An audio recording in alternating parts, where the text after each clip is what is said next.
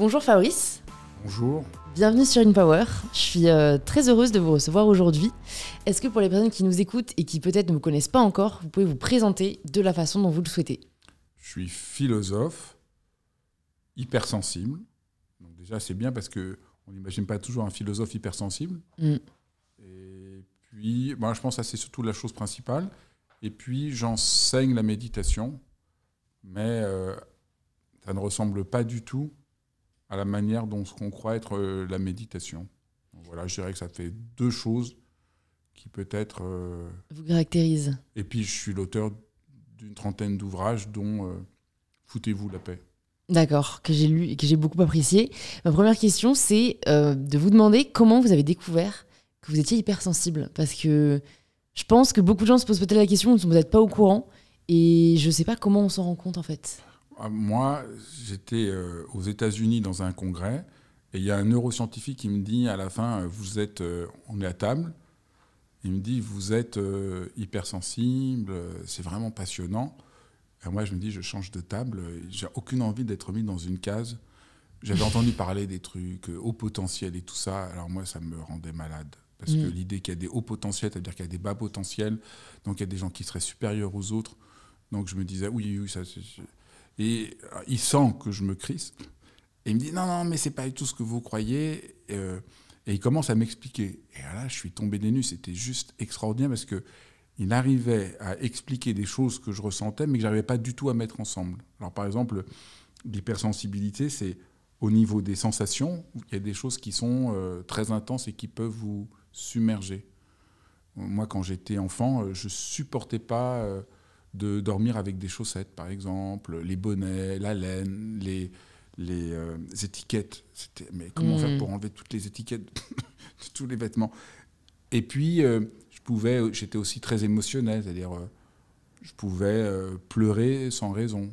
Et à l'école, j'étais bon si l'instit était vraiment très chaleureux avec moi. Si c'était un peu froid, je ne faisais plus rien. Et je voyais pas le rapport entre tout ça. Mm. Avant de parler avec quel rapport entre le fait que je dorme, que j'aime pas dormir avec des chaussettes, que je pleure euh, facilement, que je suis bon si j'ai un rapport d'empathie, sinon je me sens pas bien, et que j'ai un peu des fois une pensée un peu en popcorn, ça va un peu dans tous les sens. Donc je voyais pas le lien. Et là, d'un seul coup, il m'a expliqué, et j'ai mieux compris un.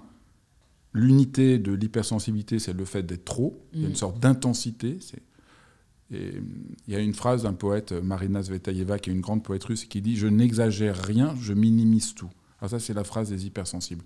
Les autres vous disent Oh là là, t'exagères, mais par rapport à l'intensité de ce que vous ressentez, vous êtes en train, en fait, de minimiser ce que vous euh, vivez. Mm. Donc, ça, je trouvais ça vraiment éclairant. Et alors, euh, donc déjà, on commence à sentir. Et là, le soulagement, c'est Ah, mais d'accord, je me comprends. Je ne suis pas euh, anormal, je suis juste hypersensible. Et puis, j'aime bien le thème parce qu'il y a des gens qui sont hyper lourds, il y a des gens qui sont euh, hyper sympas, puis il y a des gens qui sont hypersensibles. Donc, ça ne fait pas une nouvelle, euh, un nouveau truc, euh, une nouvelle étiquette. Je trouve que c'est assez léger.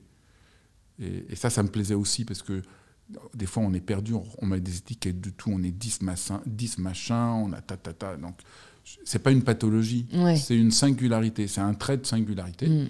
Qu'on arrive assez bien à repérer aujourd'hui entre 25%, à peu près 20-25% de la population l'est. On sait qu'il y a une grande part génétique, on arrive à le repérer chez les bébés, on arrive à le repérer chez certains grands singes. On- on- donc il y a une certaine connaissance aujourd'hui euh, un De ce peu que c'est. de ce que c'est. Les neurosciences expliquent assez bien aussi.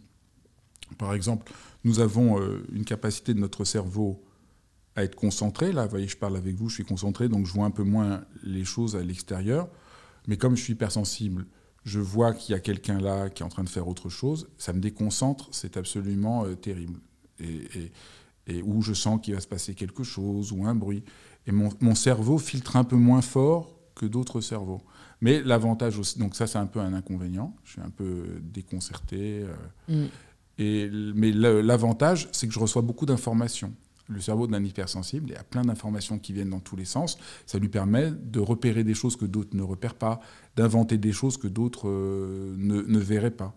Donc voilà un peu la singularité du, cerveau de l'hypersensible. Et quand on ne connaît pas le fonctionnement du cerveau de l'hypersensible, c'est un peu comme si vous rouliez sur une autoroute en sens euh, inverse. Vous dites, oui, c'est une catastrophe. En fait, c'est vraiment la catastrophe. Vous risquez vraiment gros. Donc il vaut mieux avoir la bonne carte de géographie ou le bon GPS, de comprendre comment on fonctionne. Et là, euh, waouh, Bah, c'est ce que j'allais vous demander. Qu'est-ce que ça a changé dans votre vie de savoir ça? Une fois Ah. que vous quittez ce congrès, euh, qu'est-ce que ça change pour vous? De cesser de vouloir être autrement que je suis. Parce que alors avant, des fois, j'essayais de me calmer, ou j'essayais de- d'être moins intense, ou j'essayais... Ah, déjà, ça, c'est la première chose. C'est quand même extraordinaire de, de sentir que... de se comprendre. Ouais. De comprendre euh, ce que ce qu'on est, On n'est pas tout seul. Qu'on n'est pas toi, mais, mais surtout... Ah oui, d'accord, c'est pour ça que je sens ça. Ah oui, d'accord. Là, je pleure. Ah oui, c'est normal, je suis hypersensible. Donc. Il y a un côté, vous dites pas quand vous pleurez parce qu'on vous a raconté un truc, oh là là, pauvre petite chose, ou je ne sais quoi, vous dites, ah oui, c'est mon hypersensibilité, donc vous le vivez complètement autrement. Donc ça, c'est la première chose. Et puis, euh, la deuxième chose, c'est que je, je me suis dit, euh, j'ai mieux compris qu'il fallait surtout pas essayer de se calmer. Parce qu'avant, j'avais encore un peu l'idée, euh, euh, il faudrait arriver à être calme, moi je suis jamais calme, ou qu'il faudrait... euh, que c'est pas la peine d'aller contre ce que, ce que, ce que l'on est Ouais. que c'est plutôt euh, un processus d'explorer. Et puis donc, du coup, de voir de plus en plus clairement que l'hypersensibilité, c'est une force. Beaucoup de gens euh, sont surpris quand je dis ça, parce que beaucoup de gens vivent leur hypersensibilité, ils disent toujours « Ah, si j'étais pas hypersensible, tout irait bien ». Mais en fait, c'est parce qu'on est souvent prisonnier du discours social. C'est le discours social qui nous fait croire que euh, c'est pas bien euh, d'être ému, euh, qu'on devrait, que la manière d'être performance, c'est d'avoir pas d'état d'âme. Mais est-ce que c'est vrai? Non. Mm. C'est très bien d'avoir des états d'âme, d'être passionné, Mm. d'être euh, amoureux, de, d'a- de passer par des hauts, des bas. Puis l'autre croyance que la société nous renvoie, c'est que être heureux, c'est dans un état constant de bien-être. Mais est-ce que c'est vrai? Est-ce que le bonheur, c'est pas aussi euh, vivre intensément et qu'il y a des moments c'est dur, mais il y a des moments extraordinaires, Mm. que les moments durs nous apprennent des choses? Des fois, j'ai l'impression que la société nous envoie l'idée que il faudrait être comme de l'eau dans un verre. Mais l'eau, c'est peut-être euh, comme dans une rivière, comme dans un fleuve. C'est animé, c'est vivant. Peut-être on veut, on a le message qu'on nous renvoie, c'est un message beaucoup trop polissé. Mm. Et- Bah, en même temps, c'est vrai que je sais pas co- comment vous viviez ces émotions euh, difficiles euh, quand vous étiez euh, plus jeune et que vous, vous n'avez pas encore conscience que vous étiez hypersensible? Parce que c'est vrai que moi, bon, je, je commence à remettre ça en question, mais pendant longtemps, ma conception du bonheur, c'était un peu éviter le plus possible les moments de malheur. Parce que du coup, je me et disais, c'est ça, c'est la pire idée. bah, je, je sais, mais en fait, je l'ai pas choisi. Mais tout le monde je, pense je ça. je le vivais comme ça. Oui, parce qu'on nous induit ça. C'est-à-dire, euh, vous êtes enfant, vous pleurez, on vous dit, mais non, ne, ne pleure pas. Ouais. Regarde ta grande sœur, elle pleure pas. Ouais, Euh, ouais. euh, quand tu seras grand, tu pleureras pas. Et Mais puis, en même temps, on nous dit aussi, regarde, t'as des raisons de, de sourire. Moi, quand je pleurais, ah, on me disait, bah regarde. ah, voilà, c'était insupportable. Bah- Ça, vous- là, vous avez dit les deux choses les plus Bah, insupportables. mais au moins, moi, je me sentais mieux quand j'arrêtais de pleurer et que oui, bah, je me rendais compte que j'avais du chocolat à manger, par ouais, mais, exemple. ouais, mais c'est une erreur, parce qu'au fond, euh, moi, je pense que c'est deux erreurs. Là, euh, tu mets le doigt sur deux erreurs. La première erreur, c'est l'idée que on est heureux que si tout va bien. Alors là, ça, c'est juste pas vrai. Si on regarde notre vie, les moments vraiment extraordinaires, c'est des moments où on a rencontré des, difficultés, on y a cru qu'on n'y arriverait pas. Moi, j'écris des livres. Là, je suis en train d'écrire un, prochain livre. Et ben, euh, je me suis réveillé ce, matin, je me dis, j'y arriverai pas. Et après, je sais que c'est parce que il y a des moments difficiles comme cela. J'ai dit ah, vraiment, euh, et ça me force à tout repenser que je vais faire un truc qui va être génial Mm. et pas juste, euh, je suis content, je suis content, je suis content. Non, mais c'est vrai que c'est la la deuxième chose, euh, et la deuxième chose, qui est très juste de ce que tu dis, c'est l'idée. Alors là, moi, je pense que ça, c'est qu'il faut être positif. Alors moi, ça me rend juste dingue. Ah, vous n'êtes pas du tout dans ce courant de la psychologie positive. Ah, la psychologie positive, c'est pas la pensée positive. On va en parler après. Ah, c'est tout à fait Ah, bah, passionnant. Il y a une grande confusion entre les deux. Ouais. Le, mais être positif, c'est idiot parce que si on, si on, si on, si on a dû, moi par exemple, là, je suis, euh, j'ai beaucoup de chagrin à mes amis en train de mourir et j'ai beaucoup de chagrin. C'est pas facile, mais mon chagrin est en rapport à l'affection que j'ai pour cette personne. J'ai aucune envie d'être positif. J'ai envie d'entrer en rapport à la vérité du chagrin, du lien que j'ai avec.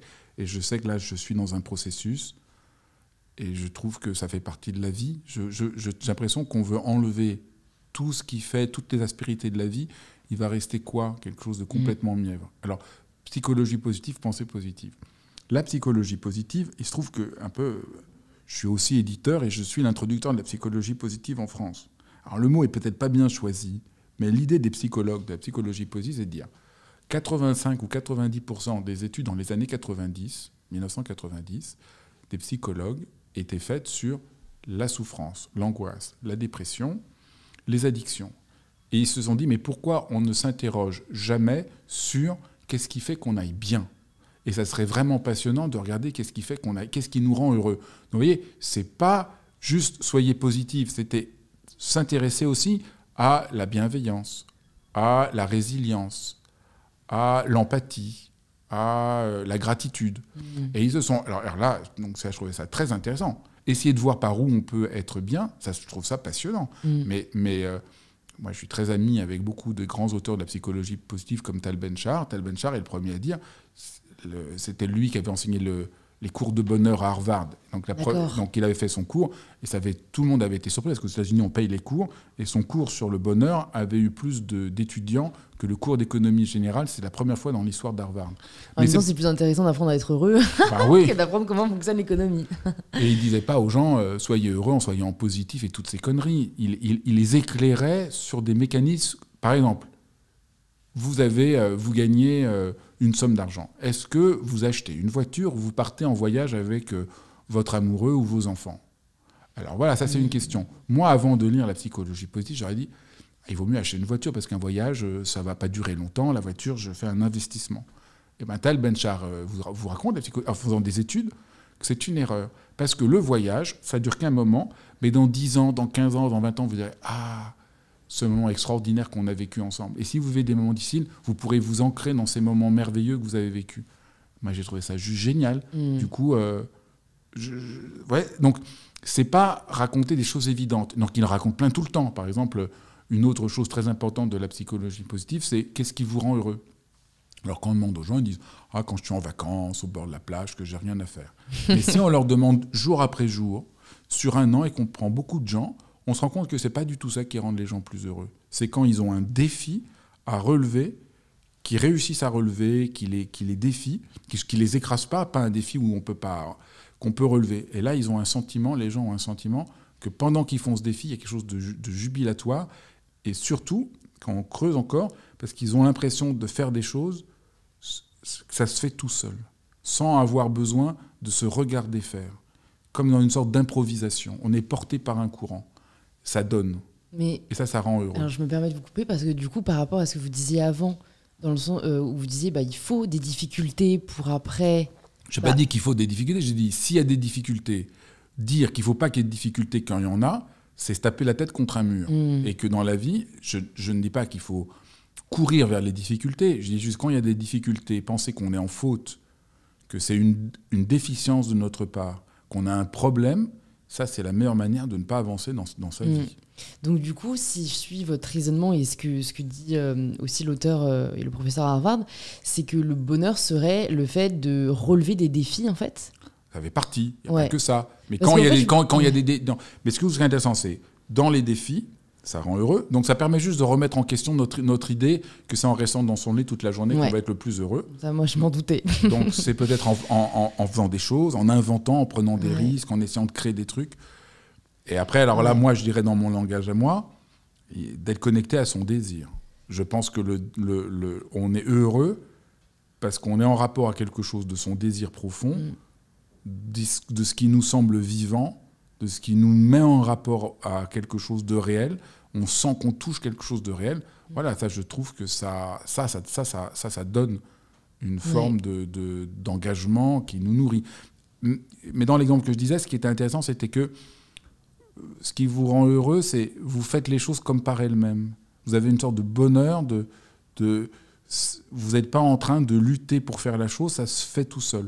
On a tous connu des moments comme ça. Un peu le flow, comme on peut Voilà, c'est euh, ça. C'est ça de là. C'est eux qui ont inventé cette expérience. D'accord. C'est la psychologie positive qui a inventé le flow. Ouais. ça n'a rien à voir avec la pensée positive qui dit soyez pensez que des choses positives et tout ira bien dans votre vie. C'est pas du tout la même chose. Vous voyez, c'est pas du mm, tout. Mm. Non, dans la vie, il y a de l'ombre et de la lumière. Mm. Dans la vie, il y a du contraste. Vouloir être unilatéral, c'est la meilleure manière de ne pas vivre. Dans quand j'apprends à nager, bah, la première fois, j'ai cru que j'allais couler. Si je voulais pas affronter l'eau où je risque de couler, j'aurais eu aucun plaisir à nager. Et quand je nage, au fond, je transcende le fait que l'eau, de, je devrais couler en bonheur de nager. voyez Donc le jeu du positif et du négatif est partie de la vie. Mm. Il y a une tension dans l'existence qui est euh, nécessaire. Et vouloir nier cette, euh, tension, c'est plus créer 1984, après le livre d'Orwell, que, euh, ça veut dire un bonheur de bisounours niais, que le vrai sens du, chemin de l'existence. Mais une question que je me pose, euh, parce que j'ai aussi l'impression qu'on est pas mal à, être dans, ce piège malgré nous, de, cette conception, enfin une des conceptions, une des formes du bonheur, c'est de voilà, apprendre à relever des défis et à progresser, c'est que du coup on n'en a jamais assez.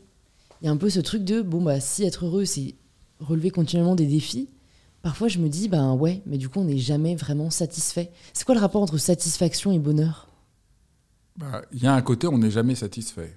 Ça, c'est très bien. Ça, c'est. Euh, c'est ce qui permet de continuer à, aussi à vouloir grandir. Euh. Mais après, la question, c'est est-ce que je fais un défi pour un défi ou est-ce que le défi permet de réaliser quelque chose de vrai, de profond? Est-ce que ça m'accomplit? Est-ce que ça m'élève quelque m'élève ou c'est juste un autre défi de plus? On mm. peut. Le problème du défi, c'est que c'est pas le défi pour le défi. C'est euh, comment en faire quelque chose de vrai, de profond, qui nous, qui on sent.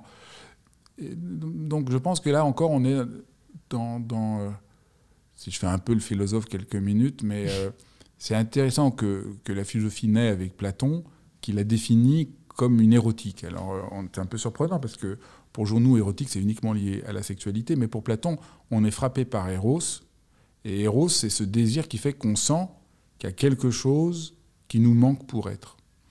Et moi, je crois que ça, c'est très profond. Être humain, c'est sentir qu'il y a quelque chose qui nous manque pour être. Il y a une tension, qui est une tension désirante, qui nous pousse en avant, qui nous fait grandir. Et donc, je ne crois pas que pour l'être humain, être juste euh, dans l'instant présent soit l'accomplissement profond. Alors c'est un peu paradoxal pour quelqu'un qui est engagé dans la méditation, parce que tout le monde raconte ça inlassablement, soyez dans l'instant présent, soyez dans l'instant présent. Mais je dois dire que je trouve ça un tout petit peu niais. Je pense qu'il euh, ne s'agit pas juste d'être dans l'instant présent, il s'agit aussi de garder ce désir ardent, cette mm. ouverture, cette passion, cette capacité à s'étonner, à s'émerveiller, à, se sentir mu. Et, au fond, nous, on sent tous un sens d'exil, que notre vie, c'est pas tout à fait ça. Et là, il y a quelque chose qui peut nous aider à nous, à nous, à nous emmener une complétude plus grande, à, aller, à apprendre à mieux aimer, à apprendre. Parce que si on est juste dans l'instant, pourquoi on apprendrait à mieux aimer Pourquoi on apprendrait à grandir Pourquoi on apprendrait? Donc c'est important qu'il y ait aussi ce désir-là. Donc euh, je, voilà, ça, je crois que c'est c'est euh, cette curiosité, cette manière de questionner, d'être jamais enfermé quelque part. Je crois que c'est très sain. Je me demande par rapport à cette notion de désir, là aussi, en fait, c'est difficile, je pense, d'arriver à faire la différence entre euh, le désir profond dont vous parlez et celui qui a ah vraiment la capacité de nous nourrir. Et je sais beaucoup de personnes, peut-être des personnes qui nous écoutent en ce moment, qui, désirent ou pensent désirer une réalité qui, en fait, ne, ne les nourrirait pas du tout. Ça, clair. Et ça, je trouve ça très difficile. Est-ce qu'il y a un moyen de vraiment le savoir? Ou il faut euh, s'y frotter et bon, on s'en rendra bien compte ou non si c'était fait pour nous ah, ça, c'est très important. Je pense que c'est ça qu'il faut apprendre. Ça, c'est être humain, c'est faire ce boulot-là. Est-ce que ce désir, il n'est pas euh, fabriqué, mm. euh, institué par la société, qui me fait croire qu'il faut que j'achète tel truc, ou par mes parents qui ont vraiment cette image sur moi, ou mon conjoint qui veut que je fasse ça? Qu'est-ce que c'est que je veux au fond de moi? Et ça, je pense que ça demande de pouvoir s'arrêter, de pouvoir se rencontrer, de pouvoir écouter euh, quelque chose euh, en nous.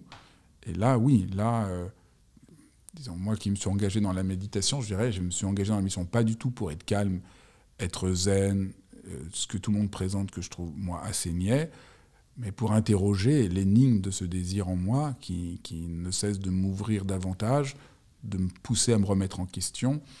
Et, je trouve que ça, ça, ça c'est une vraie aventure d'interroger ça. Parce que le désir, c'est pas nous qui le décidons.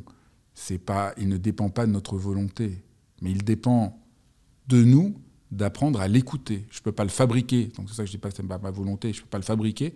Je ne peux pas désirer, désirer telle personne plutôt que telle autre, ou telle chose plutôt que telle chose. Il y a quelque chose là qu'il faut apprendre à écouter.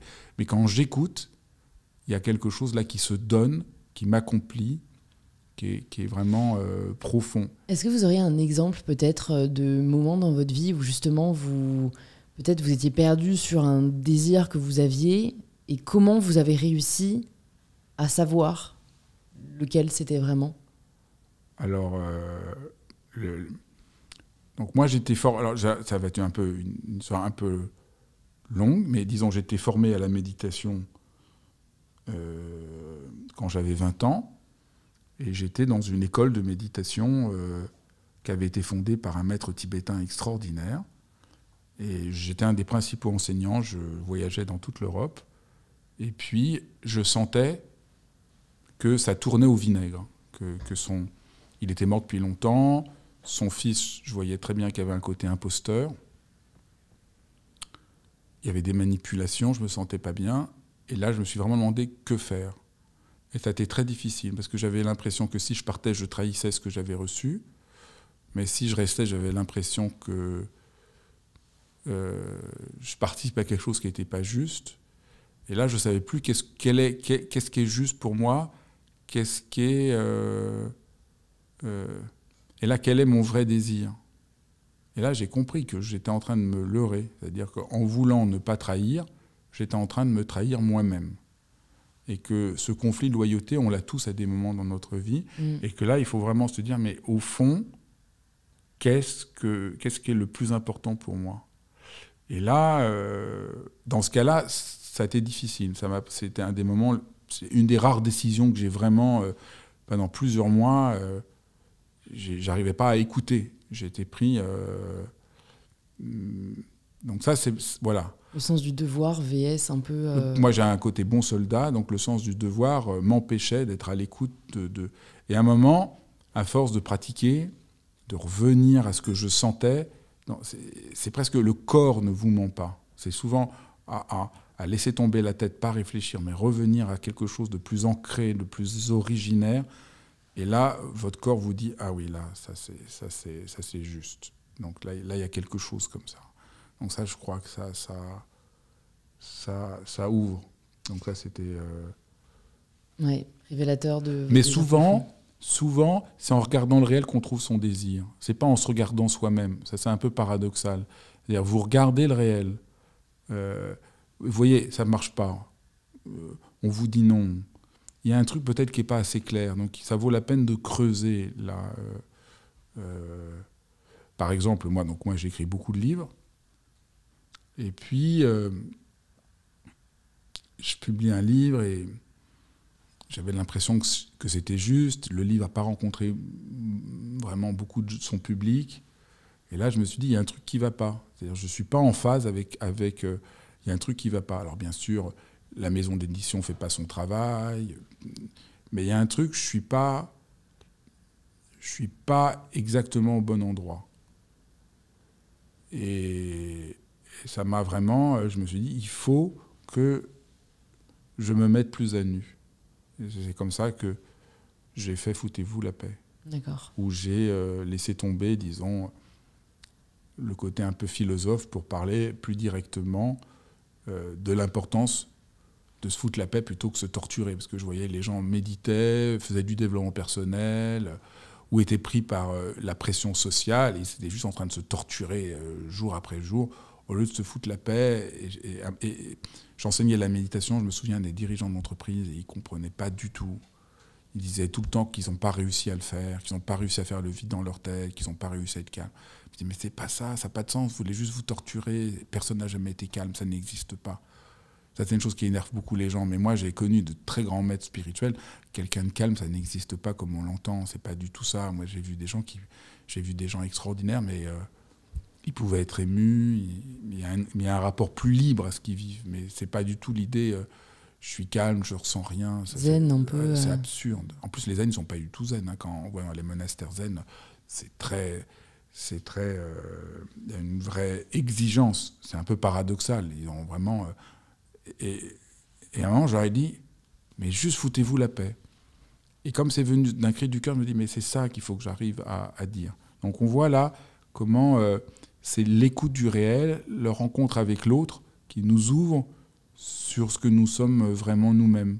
C'est comme aujourd'hui la confiance. Tout le monde parle beaucoup de confiance en soi. Mais la confiance en soi, c'est pas en me regardant dans la glace, je suis génial, je suis génial, je suis génial, que je vais avoir confiance en moi. J'ai confiance parce que j'entre dans le réel, j'ose faire des choses, j'apprends, et c'est doucement comme ça qu'on crée la confiance. La confiance, elle naît d'une dimension relationnelle. Donc ça, c'est un peu mon désaccord avec beaucoup de gens, où je trouve que leur discours est un peu abstrait. Et qu'est-ce qui a fait que euh, vous vous êtes euh, mis à la méditation et même que vous avez choisi euh, un assez jeune âge quand même, à 20 ans, c'est généralement pas un âge où on est sensibilisé à la méditation et que vous ayez même suivi une école. quoi. Aujourd'hui, la méditation, franchement, pour tous les jeunes qui nous écoutent, bah, je comprends que ça ne vous intéresse pas. C'est ringard, ça n'a aucun rapport à la vie. C'est juste être zen. Quand on est jeune, on n'a pas envie d'être zen. Mais moi, quand j'étais jeune, c'était pas du tout ça la méditation. On est, ça, euh, je fais des de philo, on va parler d'imitation, je frappe à la porte de quelqu'un, je rencontre un neuroscientifique, il me parle, j'avais l'impression d'ouvrir un continent complètement nouveau qui allait changer le monde. Et c'est ça qui m'a complètement plu. Puis après, j'ai rencontré des poètes de la Beat Generation, il y en avait encore quelques-uns qui étaient vivants, comme Allen Ginsberg et tout ça. J'ai rencontré des artistes. J'avais l'impression qu'on qu'on était en train de faire quelque chose qui est en train de révolutionner. Euh, alors, c'est difficile à dire, mais c'était plus une, une, une une remise en question d'un état social euh, mortifère que permettait la méditation. Parce qu'aujourd'hui, en gros, franchement, la méditation, c'est une technique de gestion de soi-même pour être plus performant jusqu'à ce que mort s'en suive. Soyez zen et puis fermez votre gueule et continuez à avancer. Et alors, ça permet peut-être de tempérer un petit peu euh, un excès. Quoi. Moi, je sais que j'en fais et c'est vrai que. Enfin, ce qui m'a motivé aussi, c'est un peu toutes les études qu'il y a derrière qui ont vraiment été réalisés, où on a, voilà, sur plusieurs mois, l'impact de juste 10-15 minutes de méditation par jour sur l'esprit et, et, sur le bien-être général. Et je vois ça un peu, moi, ça m'a quand même permis de prendre du recul. C'est-à-dire que j'ai un rythme de vie hyper actif. Et donc, même juste de méditer 15 minutes par jour, quand je sens parfois dans la journée que je m'emballe et tout, ça me permet de me ramener à ma respiration. Enfin, des choses assez basiques. Mais c'est vrai que c'est plus des techniques de gestion. C'est clair. moi, ça m'intéresse. Ah, moi, c'est sûr, c'est pas ça du tout qui m'intéressait. Mm. Moi, j'ai pratiqué parce que je trouvais, euh, waouh, c'était. J'avais, comme j'étais hypersensible, j'étais un peu un mauvais élève. Je comprenais pas trop. Pourquoi vous étiez un mauvais élève? J'étais un mauvais élève parce que j'étais trop hypersensible. Donc, euh, bah, tous les hypersensibles sont. Moi, mon meilleur ami est hypersensible. Il était très bon élève. Il a tout réussi. Donc, c'est pas toujours le cas. Mais donc, j'étais mauvais élève. Et j'avais le sentiment, comme hypersensible, d'être toujours en décalage. Euh, mes parents comprenaient pas du tout comment j'étais.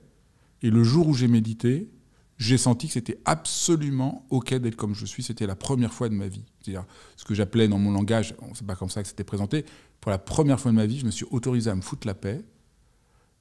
Et là, ça a été juste, waouh, ah, je, je, peux être comme je suis. Je suis plus en faute de quelque chose. Parce que moi, dans mes bulletins, c'est toujours peut mieux faire, peut mieux faire, peut mieux faire. Et là, j'avais pas peu mieux faire. C'est juste, ouvre-toi à ce que tu es. Donc c'était vraiment juste génial. Hmm. Et euh, Ça prenait quelle forme cette méditation? Est-ce que c'est les mêmes qu'on connaît aujourd'hui? C'est-à-dire. Euh, ah non, aujourd'hui, je, franchement, je trouve ça insensé ce qui est devenu la méditation. Enfin, surtout en France. Hein. Aux États-Unis, c'est un peu différent. Mais en France, tout est passé dans le filtre de la moulinette. Euh, détendez-vous. Alors déjà, je vois pas le rapport avec la méditation. Soyez dans la pleine conscience. Mais alors, dans la vie, la pleine conscience, c'est quoi? C'est l'enfer. Parce que quand vous êtes conscient de tout, là, imagine que je sois conscient de tout.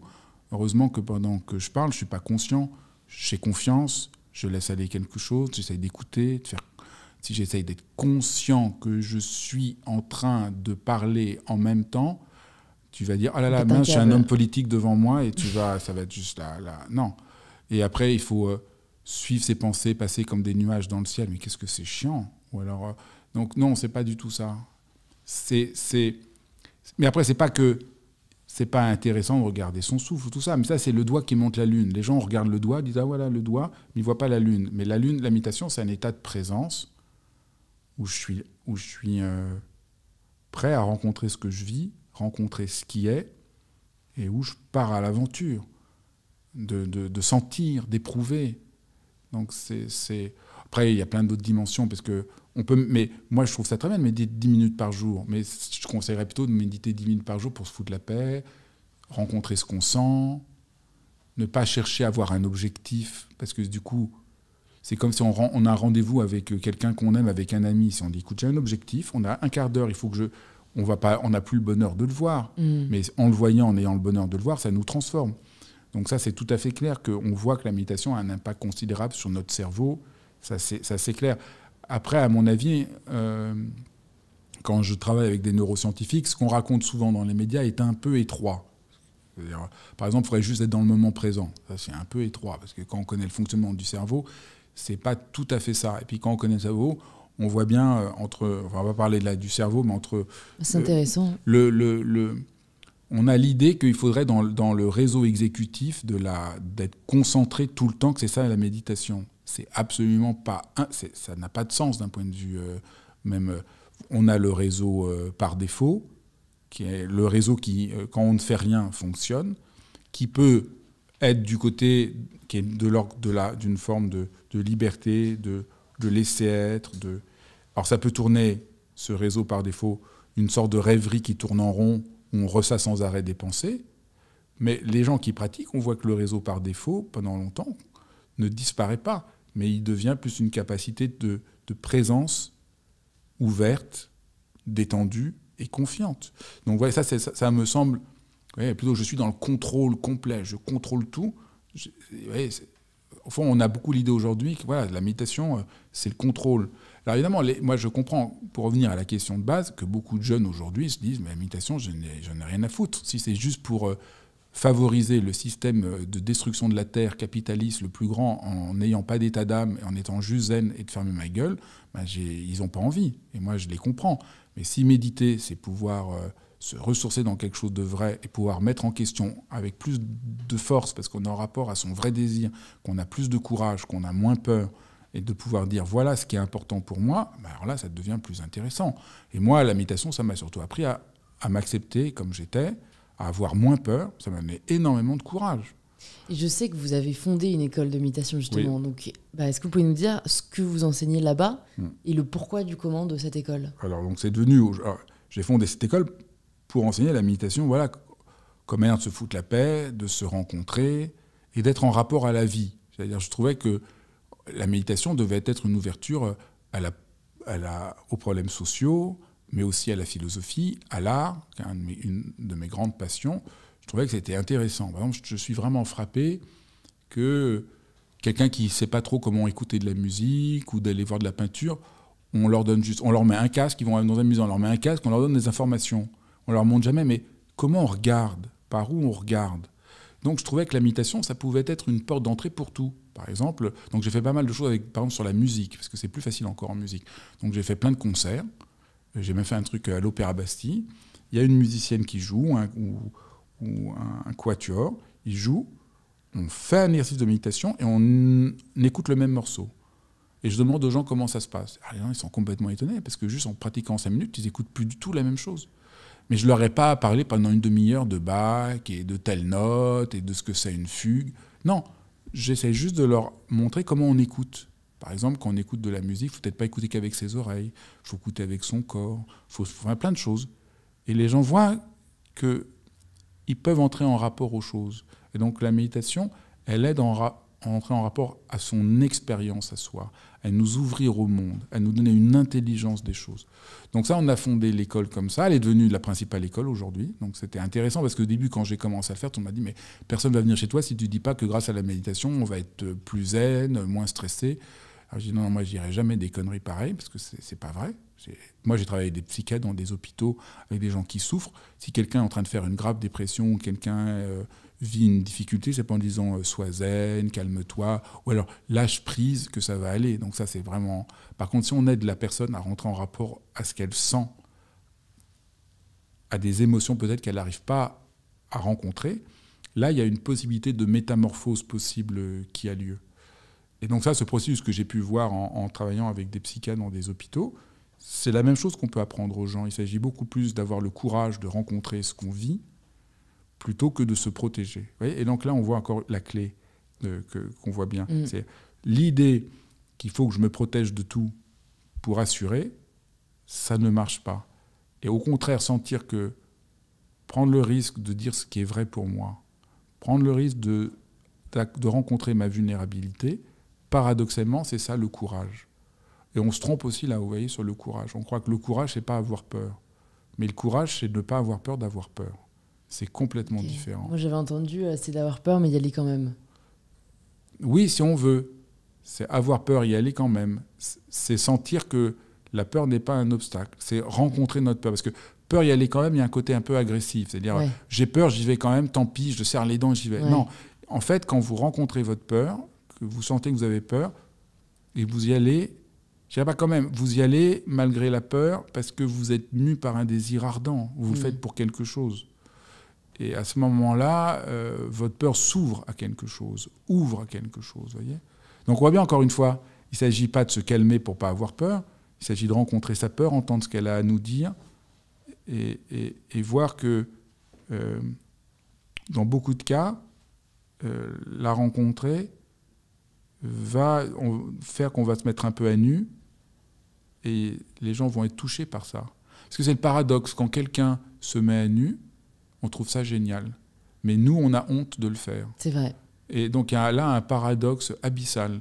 Bah, pour moi, c'est la peur du regard de l'autre parce qu'on adore quand les autres le font parce qu'on se dit oh là là, il a, il a pas peur justement de ce Puis il est vrai, puis on est content de voir quelqu'un de vrai. Nous, on voit bien que chez les autres, on n'a pas envie que les autres soient parfaits. On a envie que c'est des vrais êtres humains. Mais nous, on croit que si on n'est pas parfait, on va, ça va être la honte mm. et on va nous rejeter. Et ça, c'est pas vrai. C'est une complète euh, illusion, euh, illusion tout le monde est convaincu, voilà, si j'ose être qui je suis, si je suis pas parfait, on va me rejeter, je vais... Bah, je pense à la peur de la critique, ouais, la peur du rejet. Euh, comment vous l'avez dépassé ça? Parce qu'en plus, en étant exposé, euh, en étant un personnage public, c'est difficile, j'imagine, euh, au fil des années. En comprenant, en méditant et en comprenant que la vulnérabilité, c'est une force. Que la vulnérabilité, c'est le contraire de la faiblesse, qui rejoint un peu ce qu'on disait sur l'hypersensibilité. Mm. Que l'hypersensibilité, la tendresse, l'amour, être tendre, être touché, c'est pas du tout. Euh, c'est merveilleux. C'est bah c'est merveilleux, mais si jamais vous avez déjà été critiqué ou euh, attaqué de manière virulente, euh, c'est moins merveilleux. vous êtes toujours critiqué, donc personne n'est jamais critiqué. Donc plus vous avez peur d'être critiqué, moins vous faites de choses et vous, vous mourrez vous-même et tout de même vous serez critiqué. Donc, et paradoxalement, le fait d'être de se mettre à nu sincèrement, d'être authentique, de, dire des choses qui nous portent, ben, c'est pas, vous n'êtes pas plus critiqué pour ça. nous, on le croit. Il y a, vraiment, il faut toujours corriger ce sort de biais cognitif. Je, quand vous vous mettez à nu, que vous êtes vous-même, je trouve ça sublime. Et moi, je suis convaincu que si je le fais, ça va être la catastrophe. Donc il y a ce biais cognitif. Donc on a toujours à corriger ce biais cognitif. Mmh. Mais c'est un biais cognitif. Et, bien sûr, après, les gens vous critiquent, mais quand vous êtes porté par un désir profond, que ce que vous faites vous semble juste, que vous êtes en accord avec vous-même, c'est plus facilement. Euh, oui, surmontable. Vous avez déjà remis en question, euh, justement, votre euh, désir profond ou votre mission Non. Vous avez toujours été très clair sur là où vous vouliez aller? Oui. Parce que j'allais vous demander en quittant du coup cette école, enfin j'imagine que vous l'aviez quitté quand vous avez quitté votre désir profond. J'ai quitté, Qu'est-ce que vous avez fait après et, bah, Parce que vous aviez 20 ans quoi. Non, je suis rentré en école de méditation quand j'avais 20 ans, je suis resté jusque vers 34-35 ans, j'étais devenu un des principaux enseignants, j'avais été formé et là j'ai quitté. Donc vous étiez enseignant de méditation J'étais enseignant de méditation, enfin je faisais d'autres choses aussi, mais j'étais enseignant de méditation et à 34 35 je, je, suis parti quand je voyais que disons, ce, que, ce qu'il faisait était tout à fait euh, plus du côté euh, de la manipulation et là, j'ai tout arrêté. Donc j'ai l'impression de, de m'arracher une partie de moi-même parce que je ne savais pas du tout que j'allais fonder l'école de méditation et enseigner. Donc j'avais l'impression que j'allais tout arrêter. Mm. Et puis, Voilà, et puis doucement, c'est mis en œuvre l'école de méditation. Et après coup, rétrospectivement, c'était un des plus beaux moments. C'était sur le coup un des moments les plus douloureux, et après coup, été un des moments les plus créatifs. De, de... Donc il y a des remises en cause un peu comme ça. Mais quand même, le choc quand j'ai eu 21 ans de méditer et sentir que je pouvais être comme j'étais, et sentir que ça remettait en question euh, tout un ensemble de, croyances sociales qu'on nous racontait, euh, cette sorte de qu'on est tout le temps en faute, cette idée qu'il faut toujours être parfait. Ça, je pense que ça, je suis resté assez fidèle à, cette intuition euh, très originaire, que j'avais vue un peu avant, parce que quand j'avais 15-16 ans, je m'étais intéressé à la poésie, j'avais, j'avais senti qu'il se passait quelque chose, mais, mais ça, ça me semblait euh, un peu extérieur. Là, j'ai pu faire le lien entre quelque chose que j'avais vu à l'extérieur, que j'ai pu intégrer, que j'ai pu intégrer en moi. Et quand est-ce que vous avez commencé à écrire? Alors là, c'est l'histoire la plus, là, c'est l'histoire la plus drôle. Parce que donc j'étais dans, dans, le premier centre de méditation, je commençais à enseigner, j'avais une certaine vision, mais alors moi j'étais pas très bon à l'école et je faisais, j'étais pas très bon, donc jamais j'ai eu l'idée d'écrire un livre. Et un, jour, il devait être minuit, quelqu'un m'appelle, il m'avait vu à l'école de méditation, il était complètement bourré, et il était éditeur. Il me dit euh, Je t'ai entendu, euh, je lance une nouvelle collection. Mais moi, je ne savais pas que c'était une blague ou pas. En plus, il était un peu bourré. il me dit Je lance une nouvelle collection. Est-ce que tu veux écrire un livre sur euh, les enseignements que, que tu as reçus de la tradition tibétaine On lance une collection. Est-ce que tu veux le faire? Et je me dis Oui, d'accord. Et, alors, et je dois dire. J'ai dit d'accord. Et puis j'ai eu le contrat et j'ai fait le livre. Et, et alors, c'est vraiment étrange, parce que jamais j'ai pensé, c'était pas un truc que j'avais envie. Donc, vous voyez, là, c'est pour ça que c'est intéressant. Quand je dis le désir vient aussi du rapport à. Et alors, ça m'a beaucoup plu.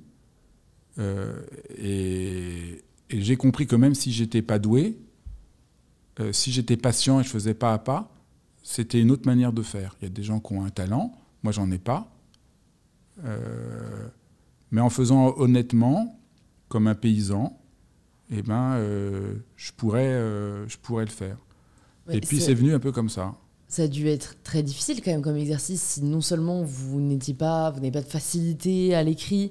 Là, ça m'intéressait. Vous avez juste pondu le livre, quoi. Oui, ça m'intéressait. Vous n'avez pas eu de processus, de, de... vous n'avez pas demandé conseil à des auteurs. Enfin, comment ça s'est passé la rédaction Non, je l'ai fait. Je l'ai fait et je sentais que j'avais quelque chose à dire. Mhm. Et donc, euh, donc, c'était pas. Ah, après, j'ai parlé à beaucoup de gens qui veulent écrire des livres et qui ont du mal parce qu'ils se mettent la pression. Et alors, au fond, je me suis vraiment foutu la paix sans le savoir, parce que pour moi, il n'y avait vraiment pas d'enjeu. Donc, je ne me suis pas du tout dit, oulala, là là, tu écris un livre. J'ai dit, bon, il y a un truc à dire là. Euh, je, je, sens, je, je vois un truc sur ce que c'est le monde tibétain qu'on ne dit pas, que je vais essayer de dire. Et puis, je l'ai fait. Après coup, je pense que j'étais un peu trop bon élève j'ai mis du temps à me, à, me lâcher un peu. Le deuxième, j'étais je me suis un peu plus lâché. J'ai pris beaucoup de temps d'apprendre à lâcher, à pas essayer d'être bon élève, à essayer de, de, de faire ce qu'on parle, c'est-à-dire d'aller plus profond. Et là, de temps en temps dans la vie, vous avez de la chance. De temps en temps, il y a des gens qui vous donnent une claque dans la figure. Et ça, c'est vraiment, euh, ça, c'est vraiment bien. J'avais écrit un texte de philosophie, parce que je faisais études de, philosophie en même temps. Donc j'ai une double formation, on dire philosophe et, de la méditation. Je crois que ça m'a aussi euh, beaucoup aidé. Et un jour, j'avais écrit un petit livre euh, de philosophie et je le donne à, mon professeur de philosophie que, que j'aime beaucoup. Et il me dit euh, Ah non, non, ça va pas, c'est tellement scolaire. Pourquoi tu dis pas quelque chose de, que tu penses toi? Mais moi, je pense pas. Je peux pas dire quelque chose que je pense moi. Moi, je suis. Je suis personne. Ouais. Il me dit non, mais là, sinon, ça n'a pas de sens. Ah, c'était. Donc bon, j'étais un peu humilié que mon texte, que mon petit premier livre là de, c'était un autre truc, mais c'était après le premier livre, mais on, m'avait confié euh, de faire un truc sur la philosophie, une sorte de présentation des philosophes. Ah, j'étais un peu humilié, mais vous voyez, c'était formidable. Là, j'ai compris la leçon. Euh, moi, je trouve qu'il y a des claques dans la vie qu'on vous donne, comme ça, symboliquement, hein, mm. qui peuvent, euh, quand c'est fait avec amour, parce qu'au fond, c'était fait parce qu'ils voyaient en moi des choses que je ne voyais pas en moi. Euh, qui sont absolument libérateurs. Et au fond, je pense beaucoup ça aujourd'hui. Je pense que le chemin, disons, on parlait de développement personnel ou chemin spirituel, c'est au fond un double chemin. Un chemin, on se fout la paix, on se rencontre, on rencontre quelque chose qu'il faut accepter d'être comme on est, que au fond on est vraiment merveilleux. On n'arrive pas à le croire, mais on est vraiment merveilleux. Parce qu'après, j'ai écrit dans mon livre Soyez narcissique, qui est un peu provocateur. Et en même temps, on se remet en question. On questionne très en profondeur. Et on finit par accepter d'être juste quelqu'un de très ordinaire. Qu'on est, personne n'est génial. On, est tous, on a tous nos, conneries, nos, on est tous limités. Et au fond, je pense que c'est les deux ensemble qu'il faut réussir à faire. Souvent, on n'en présente qu'un. Il y a un côté, je suis génial, j'ai un côté extraordinaire, tout le monde est extraordinaire. Il y a vraiment quelque chose de lumineux au fond de chacun d'entre nous. Et de l'autre côté, je suis juste un être humain, donc j'ai mes limites. Et donc, il faut arrêter avec ce truc. Euh, un jour, j'atteindrai l'éveil. Euh, cette auto-torture de soi-même. Mm. Mais vous voyez, il y a toujours les deux. Et je trouve que c'est ça qu'il faut faire. Et donc là, on voit bien aussi ce que je voulais dire. C'est bien de s'ouvrir au moment présent, mais c'est bien aussi qu'on est mieux par un allant. On entre en rapport à... C'est important d'être positif, mais c'est important d'entrer en rapport au négatif qui permet d'aller plus loin il y a un jeu et un mouvement de la vie hmm. qui euh, me semble être le vrai bonheur. Bah, ça m'a fait penser à deux choses que vous avez dit. C'est que déjà, c'est vrai que ça m'a interpellé ce que vous a dit votre professeur, c'est que en France, on est vraiment dans la dissertation en trois parties où il faut, euh, on ne doit pas prendre position. C'est-à-dire qu'on doit présenter la pensée limite d'un auteur, puis d'un autre et faire la synthèse des deux. Alors qu'aux États-Unis ou dans les dissertations anglaises, euh, moi, je sais que j'en ai, j'en ai fait. Et on te dit, tu dois prendre un parti. Tu dois dire I think that et, l'illustrer. Mais ce c'est le deuxième point qui m'a fait réfléchir ce que, ce que vous avez dit, ce que je trouve difficile, c'est que il faut quand même avoir. Enfin, en fait, pour moi, on n'en sait jamais assez. Donc en fait, il y a un côté où, euh, et puis surtout avec même l'âge, moi je me sens trop jeune aujourd'hui pour, pour euh, prétendre connaître et pouvoir dire ce que je pense. Parce qu'en en fait, ça se fout dans deux ans, je ne penserais pas du tout ça, parce qu'en fait, j'en sais pas encore assez. C'est intéressant parce que c'est le même sujet que le fait de prendre un risque, que le fait de sentir sa vulnérabilité. Ça vaut la peine d'essayer de dire ce que là où vous en êtes aujourd'hui. Avec l'ouverture et l'humilité, c'est juste là où j'en suis aujourd'hui. Par exemple, moi, sur la méditation, ça fait 20 ans que je l'enseigne. Mhm. Je n'enseigne pas du tout de la même manière aujourd'hui qu'il y a un an qui a deux ans, qui a trois ans. Ça ne veut pas dire que ce que je disais, c'était pas bien, mais je ne cesse d'essayer d'avancer. Et donc, je pense qu'il faut prendre le risque d'essayer de dire, mais qu'est-ce que, où j'en suis? Pas ça, pas le dire juste comme une sorte d'opinion qu'on lance, parce que ce que ce qu'ils essayent de faire euh, dans les universités américaines, c'est qu'en disant I think, de d'oser dire je, vous êtes obligé d'aller plus loin. Vous ne pouvez pas vous cacher derrière des pensées. Vous êtes obligé de creuser. Et mmh. paradoxalement, ils, ils pensent qu'au lieu de juste parce que moi, je dois raconter, hein, moi, j'ai fait des études de philo. J'étais donc j'étais à la Sorbonne. Bah, j'ai eu l'impression de jouer au, Lego. Hein. Alors, Kant, on construit comme ça, hop, on le déconstruit comme ça. Et hop, après Hegel, on construit comme ça et on déconstruit comme ça. J'étais extrêmement malheureux. Puis après, euh, j'ai rencontré un prof extraordinaire, ça a tout changé ma vie. Enfin, j'étais prof, une collègue me parle de philo, ça m'a fait un choc. J'ai écrit à ce prof, il était prof en classe de Cagnes, au lycée Pasteur. Et j'ai écouter, je lui ai écrit, il me dit ben, venez. À l'époque, on pouvait faire ça. Aujourd'hui, je pense qu'avec les surveillances, on ne peut plus rentrer dans un lycée comme ça. Mm. J'ai rentré comme ça dans le lycée avec des, des, des, des étudiants. Et j'ai trouvé ça juste dingue ce qu'il disait. Et vous suiviez ses cours au lycée? Alors, j'ai démissionné de l'éducation nationale. Et pendant sept ans, jusqu'à son départ à la retraite, j'étais tous les jours en cours en classe de Cagnes au lycée Pasteur. Et là, j'ai appris la philosophie que je n'avais pas appris à la Sorbonne. Ou au fond, à la Sorbonne, j'avais appris. Euh, c'était pas. Non, c'était pas sérieux. Mais il disait pas la même chose euh, chaque année? Non, jamais. il faisait, non, le programme changeait, donc on avait un cours différent chaque année. Et moi, je dois dire, régulièrement, je me disais, bon, allez, j'arrête, il faut quand même que je trouve un métier et tout. Parce que je faisais des cours particuliers pour, pour vivre. Mais... Et chaque fois, il posait une question. Je, je, pensais à la réponse. Et sa réponse était plus simple que ce que je disais. Et je me disais, j'ai encore à apprendre. C'était vraiment. Et je pense que c'est vraiment ça. C'était pas abstrait, c'était extrêmement simple. Mais c'était voilà, c'était et ça, ça m'a beaucoup euh, beaucoup porté cet autre rapport à la philosophie qui n'est pas euh, un jeu mental, un jeu cérébral de l'ego, mais euh, une manière d'approcher les phénomènes. Il prenait un texte, par exemple, une année, on a eu un texte, puis deux ans plus tard, on a eu le même texte. J'ai le cours Il dit jamais la même chose. Mais ce qu'il faisait, c'est quand il regardait euh, un, un texte de Platon, il prenait une phrase de Platon, au lieu de répéter des trucs, il la regardait. Il essayait de dire des choses en fonction de ce qu'il voyait dans le texte. Vous voyez? Un vrai exercice de lecture. Si on pouvait avoir que des professeurs comme Ah, ça. c'est extraordinaire. Mais c'est ça qui Et ça, vous voyez, paradoxalement, il n'était pas dans la méditation, mais c'est la même chose que la méditation. Et, mm, ou que ce que je fais quand je montre aux gens comment on écoute de la musique. Juste, on écoute par là. Qu'est-ce Mm. qui se passe? Ou moi qui aime bien aussi euh, la cuisine, comment on arrive à dire quelque chose d'un plat qu'on mange? Comment on arrive à, explorer? sur, euh, voilà, à aller plus loin. Il y, a cette, anecdote que j'aime beaucoup, c'était Lucien Daudet qui était ami avec euh, Proust, ils ont pour sans doute du reste été amants. Et puis euh, Proust et Lucien Daudet vont écouter une symphonie de Beethoven.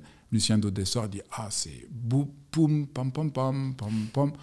Et c'est génial, non? Et il est content.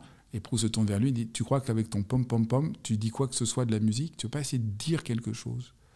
Et je trouve c'est très beau, ça, la, la leçon de Proust, qui est à mon avis la grande leçon pour les hypersensibles.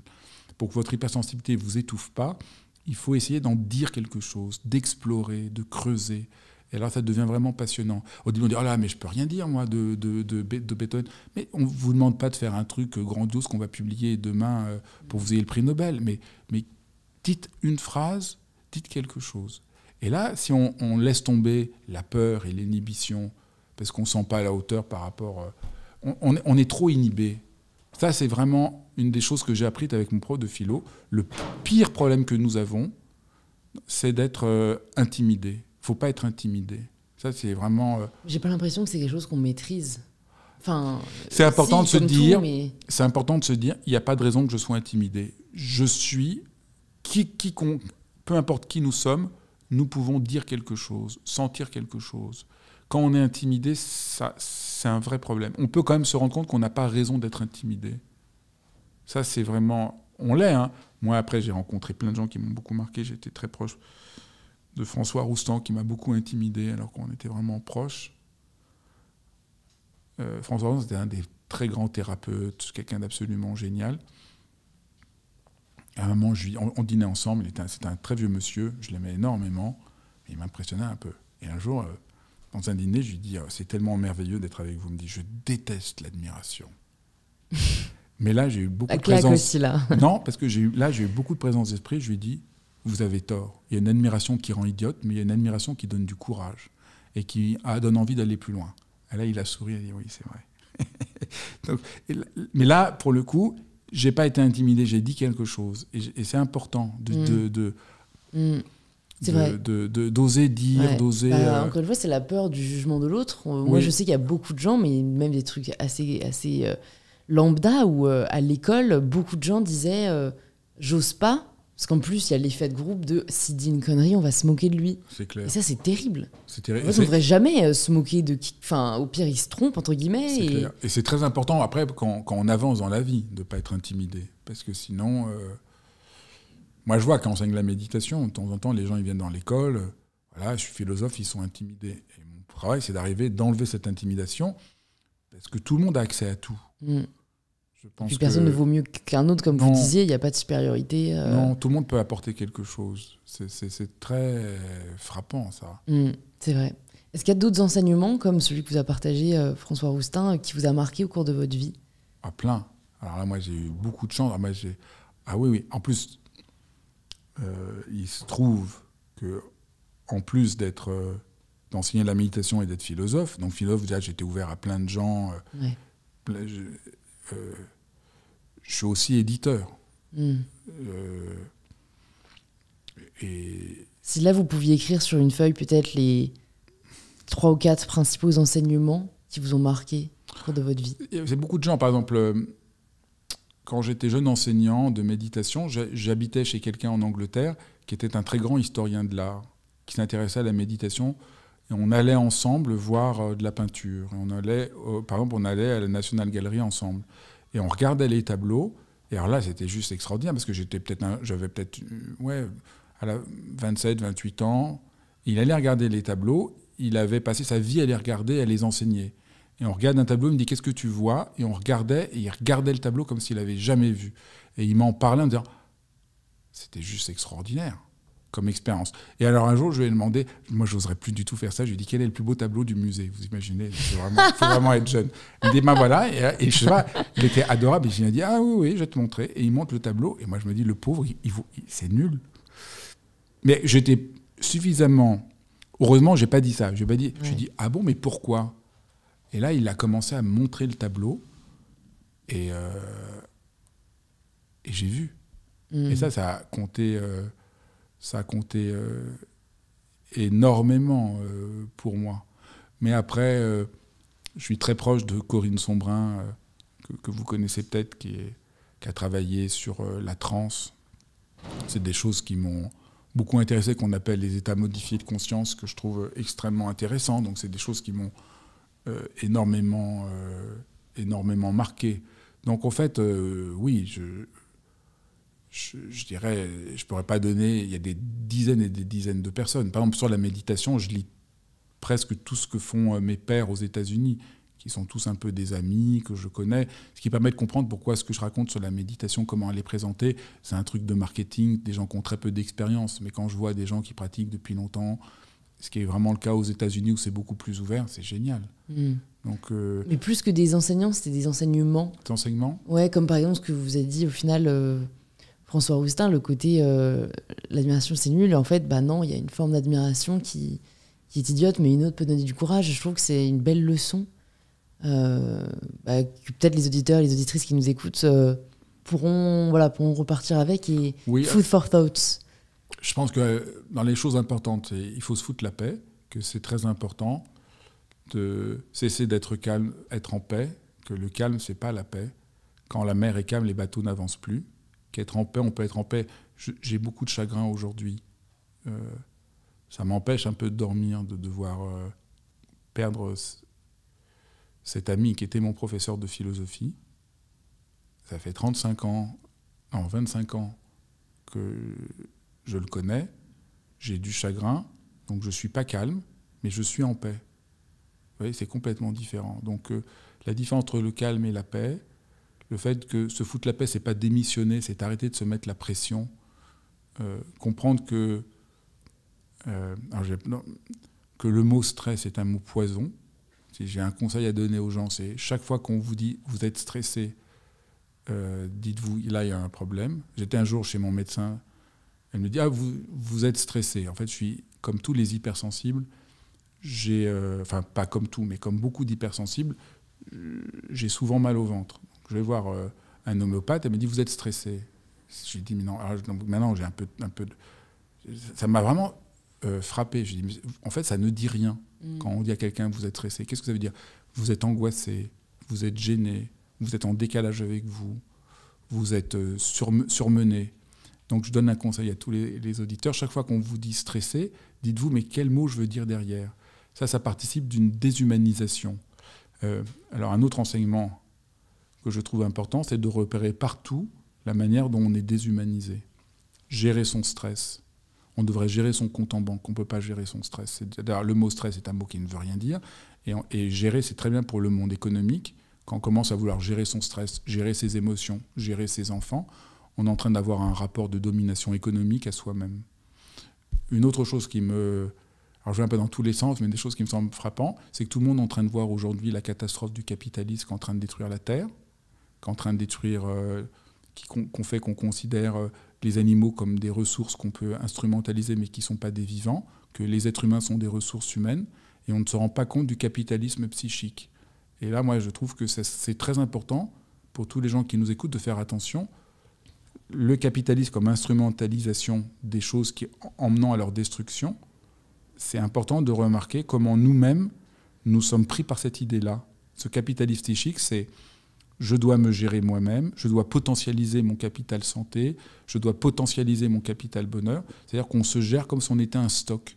Et on ne se rend pas compte que c'est ça qui nous rend malheureux. On n'est pas malheureux parce qu'on n'a pas bien géré notre stress. On est malheureux parce qu'on nous dit que le rapport au chagrin, à la douleur, à l'incertitude, à la peur, je dois le considérer comme un stress que je dois gérer. Et donc là, je suis déjà tellement coupé de mon humanité que je me sens mal. Mm. Oui, c'est comme les gens qui font un burn-out. On leur dit euh, ah, vous n'avez pas bien assez bien géré votre stress. Au lieu de dire excusez-nous, on vous a exploité, on vous a malmené. Parce que les gens qui font un burn-out, c'est pas euh, les paresseux qui n'en ont rien à foutre, c'est des gens souvent qui veulent trop bien faire. C'est ça que je, pense que ma logique du foutez-vous la paix est juste. C'est des gens qui veulent trop bien faire, qui veulent pas laisser tomber les gens, qui ont été au fond victimes de leur euh, bon cœur, de leur allant, de leur... Parce que les gens qui n'ont rien à foutre des autres, qui n'ont rien à foutre de rien, ils vont pas faire un burn-out. Mm. Donc là, il y a quelque chose, voyez, de, qui me semble important de réussir à, Il faut se libérer du capitalisme psychique pour avoir un rapport à soi humain. Mais comment ce débat, enfin oui, comment sortir du capitalisme psychique dans un monde capitaliste? Moi, je trouve ça très dur. Je pense qu'à l'instant on commence à voir que ça ne sert à rien de gérer son stress, qu'il faut des choses tout simples, comme j'ai dit, au lieu de dire je suis stressé, de se prendre le deux minutes et dire mais ça prend deux minutes. Hein. Qu'est-ce que je sens? Ah non, je suis pas stressé là. J'ai peur ou je suis inquiet ou je suis surmené, ou je suis maltraité. Parce qu'il y a plein de gens qui sont stressés, c'est juste qu'on les maltraite. Dans plein de Parce qu'en fait, moi qui ai beaucoup travaillé sur ces questions-là, la cause euh, principale du burn-out, c'est pas le fait que vous avez trop de travail, c'est le fait que vous n'êtes pas reconnu. C'est le manque de reconnaissance qui détruit les gens. Vous êtes instrumentalisé. On ne voit pas ce que vous faites. On vous en demande plus sans jamais vous reconnaître. Si on voit ce que vous faites, vous êtes valorisé, vous êtes capable de faire beaucoup plus de choses. Donc, euh, donc, vous voyez, donc, je ne suis pas stressé, mais voilà ce qui m'arrive. De prendre le courage de reconnaître, oui, là, je suis maltraité. Ben déjà, euh, ça change énormément euh, de, choses. Donc, je dirais, voilà, ça, ça peut déjà beaucoup, mm. beaucoup aider de, voir. Euh, et donc, du coup, on voit bien qu'à ce moment-là, il y a une manière de progresser dans sa vie qui est juste en train de renforcer le capitalisme psychique, donc ça ne va pas marcher. Et il y en a d'autres, au qui vont m'en libérer et me rendre plus humain. Il y a plein de manières d'être plus humain et de laisser tomber le capitalisme psychique. Comme euh, Manger une bonne glace, passer du temps avec un ami pour rien, prendre le temps d'écouter ce qui se passe. C'est, euh, on comprend souvent avec les enfants. Par exemple, votre enfant, euh, vous avez un enfant, il a peur qu'il y ait un, monstre sous son lit. Est-ce que vous lui dites Ah, t'es vraiment trop bête, il n'y a pas de monstre sous ton lit, t'as qu'à regarder les informations ou lire dans un livre Non, vous allez lui dire Ah, comment il est ton monstre? Ah, il est très très gros, il est... et quelle forme il a. Et à force d'en parler avec lui, de donner forme à ce qu'il ressent, il va avoir moins peur de, de, son, de, son, de sa peur, voyez, de son émotion, de son angoisse. Et c'est pas trop dur de, quand on a aussi conscience que vous euh, bah, des travers du capitalisme et, et, que voilà, il y a un peu une autre voie qui est possible, qui est celle euh, du bouddhisme et enfin de ce que vous enseignez c'est pas trop dur d'avoir ce décalage entre ben, la société occidentale, elle est comme ça, mais moi, ma vérité, c'est ça. Non, mais d'abord, je suis très heureux de vivre aujourd'hui au XXIe siècle. J'aurais pour rien au monde voulu vivre dans un pays euh, bouddhiste ou au XVIIe siècle. En plus, moi qui suis homosexuel, je bénis le ciel que aujourd'hui, euh, dans l'école, j'ai marié euh, deux, deux, jeunes, deux, jeunes mariés, deux garçons la semaine dernière. Je trouve ça juste dingue qu'on puisse se faire. C'est quand même extraordinaire. Mais je dis souvent ça, moi, euh, pour tout ce qu'on entend de la situation actuelle et même les années précédentes. Et la place des femmes. moi, j'ai connu, et que maintenant, moi, je suis.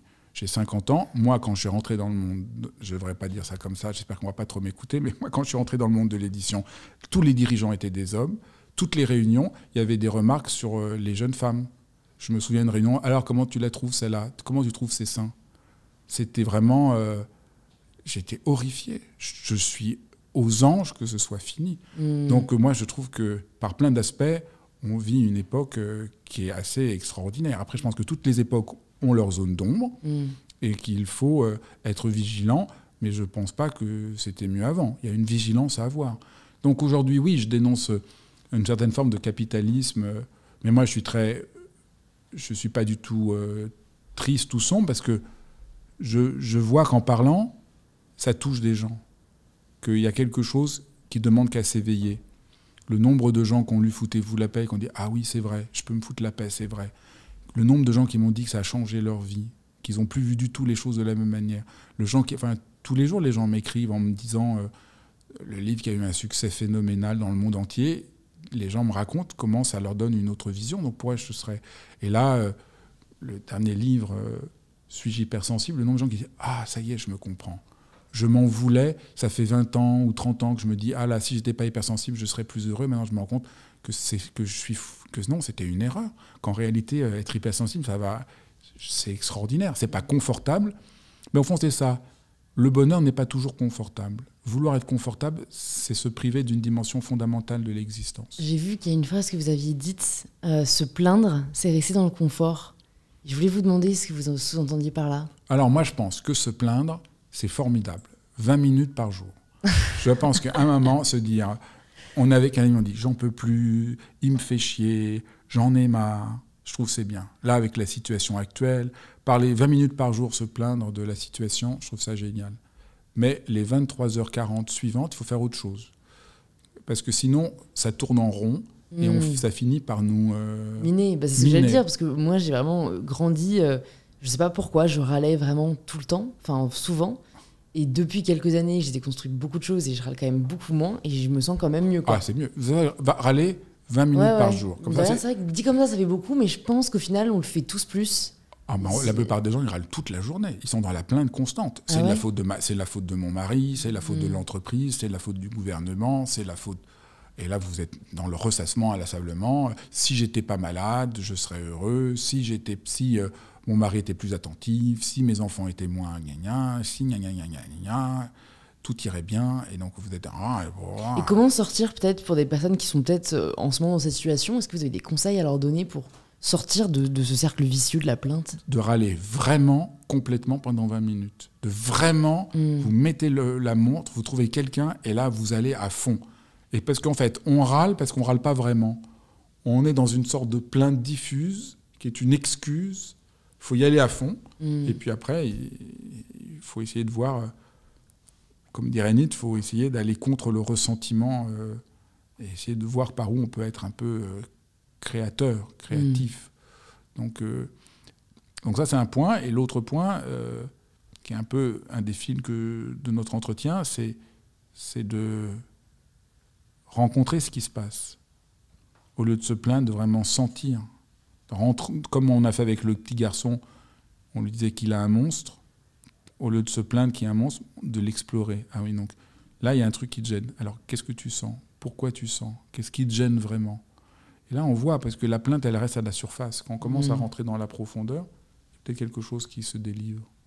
Écrire, je me dis, ça peut peut-être aider aussi euh, ah oui, à donner de la matière écrire, c'est formidable. Vous pouvez faire ça. Vous écrivez pendant 20 minutes toute la plainte que vous avez, et vous allez voir, vous allez passer à autre chose. Mmh. Naturellement, vous, la plainte ne se maintient que parce qu'elle reste à la surface. Si vous écrivez ce qui vous gêne vraiment, il y a un truc qui va s'ouvrir. Je vais essayer, parce que moi, je suis un peu la pro du euh, j'aurais dû. Et c'est chiant, parce que pareil, c'est un truc que j'ai l'impression de ne pas maîtriser. C'est vraiment toujours me dire que j'aurais pu faire mieux, que j'aurais dû faire ci, si j'avais fait ça, ça serait passé comme ça. Ce qui est important, Jamais essayer de l'écrire une bonne fois pour toutes. Pour, mais ce qui est euh, important, c'est essayer de s'ancrer. Pour vous, c'est ça. Il faut juste vous ancrer. Il faut trouver de la force en vous ancrant. ça, c'est très abstrait pour moi là. Je ne vois pas comment je pourrais faire euh, ça. Physiquement, vous pouvez vous quand vous méditez, puisque vous méditez un peu mhm. tous les jours, essayez juste de vous enfoncer dans la terre, d'être comme un arbre qui a des racines. Pas de vous dire il faut que je sois dans le moment présent, il faut pas que je sois comme ceci, tout ça qui est un peu négatif. Vous dites je devrais pas être comme ça. Vous avez dit ça plusieurs fois dans l'entretien. Non, mais vous dire juste je, je, je deviens, je m'enracine. Je reste là, je suis là. Et pour prendre une image, vous êtes comme un arbre qui a des racines très profondes. Pendant quelques minutes, juste vous rentrez comme ça. Vous vous sentez, ça, ça serait ça pour vous la meilleure de vous foutre la paix. C'est juste vous centrer là où vous êtes, vous, vous rentrez et vous, et vous touchez une extraordinaire force qui est juste là. Elle n'est pas à chercher ailleurs, elle est juste mm-hmm. là. Je vais essayer. Pour vous, c'est même pas essayer. Vous ne pouvez pas ne pas réussir puisque c'est juste être là mm. comme un. Vous arrêtez de penser, vous arrêtez d'être intelligente, vous êtes comme un arbre, juste aussi bête qu'un arbre, aussi beau qu'un arbre. Mais l'arbre, il n'est pas en train de se dire oh là là, est-ce que je suis. Il est, il est là. Donc vous faites pareil. Vous allez voir, ça va changer votre vie. Pour vous. Alors après, pour les gens qui m'écoutent, c'est pas forcément. Mais, pour vous, par rapport à ce que vous me dites, c'est juste ça. Ne méditez pas pour essayer de vous calmer, essayer de plus ceci, moins cela. Parce que vous, non, mais oui, de toute façon, maintenant, je ne recherche plus d'objectifs avec la méditation. Vous hein, méditez, vous êtes comme un arbre qui s'enracine. Alors, vous pouvez respirer comme un arbre. Vous sentez par vos feuilles que vous respirez, qu'il mouvement. Mais c'est juste ce moment où vous, vous entrez dans une profondeur d'être. Il y a quelques petits derniers sujets que j'avais envie d'aborder avec vous, parce que je sais que, euh, bah, notamment parfois, quand on entend les invités du podcast, euh, voilà, on a justement cette admiration qui parfois peut être décourageante de je serai jamais comme ci, je serai jamais comme ça. Donc j'aime bien parler de moments difficiles qu'ont peut-être vécu mes invités et, et comment ils ont, ils ont pu en sortir. Donc est-ce qu'il y a un moment, bah, peut-être je me dis, est-ce qu'il y a un livre où vous avez vraiment eu du mal à l'écrire? Tous les livres. Tous les livres, ok. Ben, presque tous les livres. Les C'est- moments c'est- difficiles, mais moi, moi, venant vous qu'on parle, vous voyez bien, moi, j'aime bien les difficultés. Je, je- je trouve que c'est vivant. Je trouve que je manquerais même des difficultés parfois. Par exemple, quand je dois euh, faire un séminaire ou une conférence, j'aime bien soit me dire, alors je viens, je ne prépare rien pour qu'il y ait un défi, parce que je trouve que c'est plus vivant. Donc, euh, en fait, votre question, c'est ça. C'est beaucoup de gens se vivent comme des petites souris. C'est ça le, le problème. C'est la même chose que je disais, il ne faut pas être intimidé. Et plein de gens se sentent euh, comme des petites souris. Et c'est très important de voir qu'on se sent comme une petite souris et que c'est absurde. Et que ça, ça vient aussi de toute une, tout un monde. C'est pas tant que j'ai envie de raconter des anecdotes où j'ai eu des difficultés, je voudrais vraiment essayer de montrer comment on est formaté à se vivre comme une petite souris. Parce qu'on nous a appris que fallait pas prendre soin de soi trop, que c'était mal, qu'il fallait s'occuper Ah, des autres, Sauf pour les femmes. que s'occuper de soi, c'est... Enfin oui, mais pour, ouais. mais pas au sens du vrai souci de soi. Pas de- au sens superficiel. euh, Voilà, mais ouais. pas le fait de, de dans mon langage, enfin, Ouais, se prendre soin au sens propre, quoi. que- au sens moi, mais c'est même pas prendre soin, c'est être à l'écoute de ce qu'on sent, d'être à l'écoute de son désir, de, de creuser ce qui nous anime, euh, ce que les anciens appelaient le souci de soi, ce que Foucault appelle le souci de soi, on reprend ça chez, Pla- chez, chez- chez Platon, Socrate. Et, et donc, je, je crois que c'est- très important de comprendre pourquoi euh, on vit dans une ère sacrificielle. Ça, c'est extrêmement important de comprendre ça. Qu'on doit toujours être au service de l'autre. Si vous vous sacrifiez, c'est bien. Je ne sais pas si vous vous souvenez de. Donc, moi, je, je- je me bats contre l'idée sacrificielle. Mhm. Ma tante me dit un jour, euh, elle adore venir au repas de famille. Elle me dit euh, Ah, j'aimerais bien venir. on avait un repas prévu pour Pâques, c'était il y a quelques années. Elle dit Je peux pas venir, mon, mon, mon mari s'est foulé la cheville. J'ai dit Où est le problème Tu veux pas le laisser tout seul? Ah non, tu comprends, je peux pas. Il faut que je reste avec lui. Ça, c'est l'idée sacrificielle. Il faut que je me sacrifie parce que comme ça, je suis une, une gentille personne. Mhm. Et alors après, je deviens très amer parce que je voudrais que mon mari me, se sacrifie pour moi aussi. Mhm. Et donc, c'est ça le jeu. Les gens veulent être des bonnes personnes, mais la gentille personne. Mais personne n'est gentil. On est gentil et des fois, on n'est pas gentil. Des fois, on est intelligent, des fois, on est complètement con. Moi, je- des fois, je suis mais complètement con. Je suis complètement à, à l'ouest. Des fois, je suis gentil, mais des fois, je fais des trucs euh, nuls. Des fois, j'ai pas le courage. Des fois, donc, c'est cette réconciliation avec euh, le côté l'ombre et la lumière de l'existence qui est absolument euh, essentiel pour arrêter euh, cette pensée sacrificielle Mm. qu'on nous. Mais c'est énorme cette pensée Mm. sacrificielle. Donc j'avais beaucoup défendu ça. Puis il y avait eu euh, Arnaud Beltrame, qui était ce lieutenant-colonel qui est mort euh, au supermarché de, de, j'ai oublié. Donc qui avait euh, essayé d'arrêter le terroriste et qui était mort. Et tout le monde a dit le lendemain, les hommes politiques, quel exemple de sacrifice pour la jeunesse, qu'est-ce que c'est beau et tout ça. Ah, Moi j'étais très mal à l'aise, mais je n'arrivais pas à formuler la chose. Et puis la, la mère d'Arnaud Beltrame a publié une, une tribune en disant Je vous en prie, arrêtez de dire que mon fils est sacrifié. Mon fils n'avait aucune envie de mourir. Il a agi peut-être de manière héroïque en voulant arrêter le terroriste, mais il n'était pas, il n'avait pas envie de se sacrifier. Et ça, j'ai trouvé ça extrêmement important. Puis après, on a su tout l'engagement spirituel qu'avait euh, cet homme, et on comprend qu'il ne s'est pas sacrifié. Il a été héroïque parce qu'il il avait un rapport profond à lui-même, il avait travaillé sur lui-même. Et vous voyez, c'est une toute autre perspective de l'existence. Donc je Mm. dirais, je dirais mais, mais on nous dit tout le temps, sacrifiez-vous, c'est bien. Euh, dire de soi un peu trop, c'est mal. Mais euh, comme Montaigne disait, dire moins de soi qu'il y en a n'est pas modestie, mais sottise. Dire moins de soi qu'il y en a n'est pas modestie, mais sottise.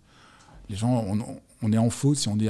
Moi, je me souviens, moi, euh, dans mon boulot, je me souviens, il y a une dizaine d'années, je disais à une de mes collègues, ah mais c'est juste extraordinaire ce que tu as fait, mais c'est juste extraordinaire. Et je la, regard, je la voyais qui, me, qui se disait, qu'est-ce qu'il me veut? Elle n'arrivait pas à croire que je sois juste admiratif de, de, son travail. ça m'avait beaucoup frappé de, de, de, tout un arrière-plan. On est en faute, on est coupable d'être. En fait, moi, ce qui me choque un peu avec euh, notre, euh, enfin, la société actuelle, c'est que on doit toujours être dans la demi-mesure. C'est qu'en fait, on doit, ah bah, on doit être modeste, mais pas trop, sinon c'est ridicule.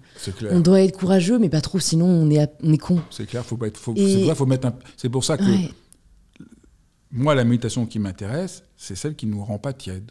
Bah, c'est vrai qu'en fait, c'est même difficile avec nous-mêmes parce que j'ai l'impression qu'on cherche toujours à être, voilà, pas un peu, mais pas trop. C'est clair. Dans tout. Donc Au lieu d'accepter qu'on peut être extrême, peut-être dans un domaine, et puis pas du tout dans l'autre, quoi. C'est pour ça qu'on s'en veut d'être hypersensible parce qu'on est, est des fois trop, que les gens s'en veuillent d'être trop, alors que c'est formidable d'être trop.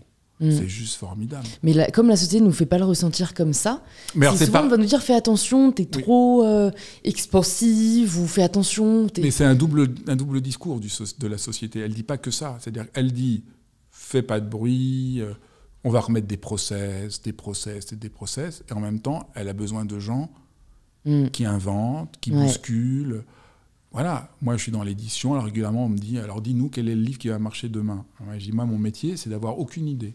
C'est de pouvoir être complètement étonné par quelqu'un que je vais rencontrer qui va me dire un truc mais j'aurais jamais pensé. Je me souviens quand j'ai lu le livre sur le rangement euh, de Marie Kondo, de Marie Kondo quand j'ai lu le, manuscrit, alors moi le rangement j'en ai rien à faire, et alors moi... Euh, et j'ai lu, j'ai trouvé ça juste génial. Mais vous m'auriez dit avant que j'avais un livre sur le rangement allait faire un best-seller dans le monde entier, que ça donne un plus grand succès, j'aurais dit mais comment vous pouvez... Non, mais en le lisant, donc On ressent le la fait d'accepter de ne pas savoir m'a permis de découvrir et de dire mais là mais c'est juste génial ce truc. Et donc mm. j'ai je, sentais qu'il se passait quelque chose. Et donc la boîte dans laquelle je travaille, ils sont très heureux que, j'ai des, que, je sente, que je sente les choses et que je sois trop, et que je ne suive pas les process, et que je pleure, je, je, mm. je, lis un livre, je peux être dans, un, dans tous mes états, euh, entrer en transe, est-ce que je sens que c'est extraordinaire Et eh ben voilà, c'est une grande chance. Et dans, toutes les, et dans tous les métiers, c'est comme ça. Et est-ce que vous tempérez ou est-ce que vous essayez quand même de tempérer parfois Parce de renoncer à tempérer quoi que ce soit. Ok, parce que moi j'étais très comme ça de nature, très. Euh, bah, j'ai pas à m'excuser d'être qui je suis. Bah, voilà, bah, vous, avez, vous avez, je vais pas, je vais pas croire que vous avez changé là-dessus Ben en fait, j'ai pas, j'ai pas tant changé que ça, mais parfois je me remets en question parce que je me dis, c'est vrai qu'il faudrait peut-être que je travaille sur mes travers. Non. Peut-être que, que je sais pas, je suis bah, trop perfectionniste par exemple. Bon bah ça, ça me sert pas tous les jours d'être trop exigeante envers moi-même. Est-ce que je l'accepte juste ou est-ce que je me dis, bon. Le, le paradoxe, c'est quand on accepte vraiment ce qu'on est, on peut se transformer. C'est comme les gens qui veulent faire un régime pour maigrir plus ils veulent contrôler ce qu'ils mangent, moins ça marche. Mm. C'est en s'écoutant et en étant beaucoup plus proche de ce qu'ils sentent et en acceptant que là, aujourd'hui, ils ont un problème de poids, qu'ils vont le transformer. Ou arrêter de la, cigarette. Ou... Donc, plus on, nous croyons que plus je vais contrôler les choses, mieux ça va aller, bah alors là, euh, si ça marchait, on le saurait. Hein. Mm. Cette idée de contrôle est une idée euh, complètement... Euh, ça marche pas comme ça, la vie. C'est plutôt un mode. C'est ça que je retiens vraiment. Oui, c'est écouter, c'est écouter avec le fait que écouter, c'est toujours découvrir quelque chose d'autre que ce qu'on croit. Parce que c'est pas juste écoutez-vous, c'est écouter ce qui se dit en vous que vous ne savez pas encore. On ne sait jamais à l'avance. C'est comme quand vous parlez avec un ami, ou non, vous parlez avec votre conjoint euh, que vous connaissez depuis je ne sais pas combien d'années, vous allez c'est toujours vivant, c'est toujours étonnant. Vous n'en avez jamais fait le tour. De nous-mêmes non plus, on n'en a jamais fait le mm. tour. On est toujours un peu burlesque avec soi-même, non? Le matin, on se lève, on a telle idée, on a telle humeur. On est toujours un peu imprévisible soi-même. Donc s'écouter, c'est pas s'écouter soi-même d'un point de vue euh, égocentrique, c'est écouter la vie en nous plutôt. C'est ça, écouter la vie en nous. Et là, on voit, c'est-à-dire quand j'ai une difficulté, un livre que j'arrive pas à écrire, ben, je me pose des questions. J'écoute davantage ce que j'ai à dire, que j'ai pas bien dit. J'écoute la situation, je lis le texte que j'écris. Pourquoi, pourquoi ça ne marche pas? Donc, ce n'est pas que je ne me remets pas en question, mais pas abstraitement. Mm. Pas parce que je suis en faute d'être comme je suis. Parce que voilà, pas, si on est hypersensible, on est hypersensible. Si on a une, une force une intensité en soi, pourquoi il faudrait s'en vouloir de, de l'être Moi, je dois dire, j'ai été victime de ça. Pendant des, quand il y a eu la mode de la méditation, de tout ça, pendant quelques années, je me dis, allez, peut-être que j'ai pas, pas très bien compris ce que j'ai reçu, je vais essayer de me calmer, de méditer pour pas avoir de haut et de bas, pas être aussi intense, pas être aussi, de pas exagérer. Parce que vous avez vu, des fois, j'exagère un peu. Et ben, plus je faisais ça, plus je me sentais coupable parce que j'y arrivais pas. Et quand j'y arrivais, j'avais l'impression d'être de moins en moins vivant. Et je me suis rendu compte que c'était juste l'horreur. Mm. Qu'au fond, le message qui est présenté aujourd'hui, c'est soyez un peu moins vivant. Mais non, mais j'ai pas envie d'être moins vivant. On est en train de me dire, je serais heureux si je suis pas vivant. Ah ben non, non, mais là, ça, non. Mais je serais curieux de savoir quelle est votre euh, relation à la notion d'effort. Moi, je travaille tout le temps. La chose que j'aime, c'est l'effort.